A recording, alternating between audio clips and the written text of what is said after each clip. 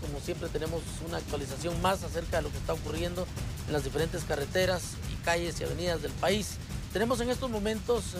una información que nos traslada Milcar Montejo acerca de una manifestación. Es una manifestación que desde muy temprano está bloqueando las entradas y salidas al Congreso de la República. Así que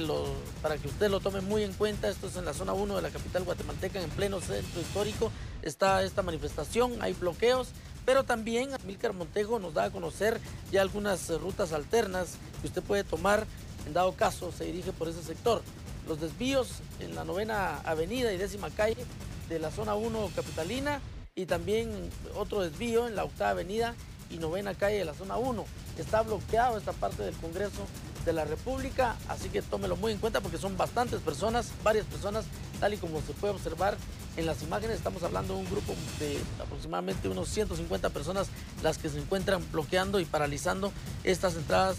muy cercanas al Congreso de la República, inmediaciones del Palacio Legislativo, así que es para tomarlo en consideración.